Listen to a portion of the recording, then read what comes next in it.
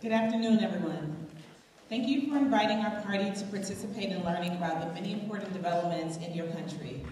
We bring greetings from our party's national committee, wishing you all the best in establishing socialism with Chinese characteristics. First, I'd like to inform you all that I am speaking on behalf of Rossana Cambron, the vice chair of the Communist Party USA, who fell ill and had to return to the States. So I saw a sign in the airport while waiting for my plane that said, none of us are well until all of us are well. Building a community with a shared future for mankind can only happen with the development of socialism in the world, where we can support each other in meeting the needs of people throughout the world, where each country can share the resources, be it material, and intellectual, and or special skills with those that do not have them. In my country, the United States, we face many deep and critical problems today, but we are also experiencing the birth of many new opportunities for positive change. One being the war industrial complex, one of the most powerful groupings in the world. It attempts to disrupt any formation of a socialist society. Perhaps the greatest unsolvable contradiction in capitalism today is the ever-growing income inequality between the many that produce wealth versus the few that appropriated it.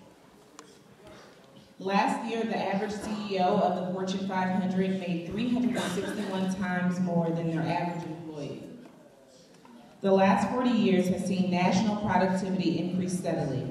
The wealth of the top 1% skyrocket and wages for the American worker stagnate or decline. Our struggle for workers' rights to a livable wage and a decent quality of life is. Gender inequality continues to be on our agenda to challenge. Women still receive lower wages than men for doing the same type of work. Women, gay, lesbian, transgender communities continue to be discriminated against. Racism has been and continues to be the greatest weapon the ruling class has to divide the struggles of American people. Racism has become structural, systemic, and is clearly reflected in unemployment rates, college graduation rates, wage disparity, and especially incarceration rates. Democracy is under attack like never before with the Supreme Court ruling that corporations now have the same rights as citizens. Their follow-up on Citizens United decision also allows corporations con to contribute unlimited amounts of money to any, any political party, politician, or political campaign. That along with the gerrymandering of voting districts and voter suppression, especially against people of color, is obscene and absolutely unacceptable. Immigration in the United States has for decades been used by the ruling class as an ideological weapon.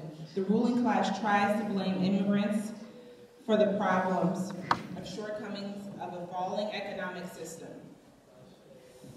Unity and solidarity of class are of utmost importance. If we are to solve the problem of immigration, we must first be clear to address its root causes.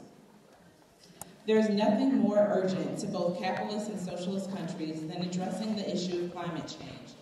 Yet, it's so embarrassing that our own president uh, and the, most of the Republican leaders deny that climate change even exists. If ever there was an urgent reason to transition from capitalism to socialism, it's this, this pressing issue. Capitalism and environmentalism are incompatible. For ourselves and for our future generations, the defense of Mother Earth needs to be a world movement.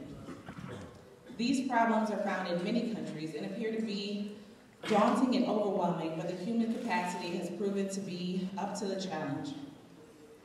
With the advancement in science and technology, we now have the capacity to solve all of these problems. The only thing standing in the way is capitalism. Therefore, we need to transition from an economic system based on constant expansion, consumption, and greed into one that is sustainable, controlled, and more humane. In closing, I would like to say that I'm very hopeful for our future. Yes, many throughout the world are living throughout very difficult times. War, poverty, pollution, and violence seems to dominate the world scene. But what gives me hope is that everywhere around the world, everywhere that I've traveled to, I've seen countless women, men, and even children standing up to power, standing up for what is right.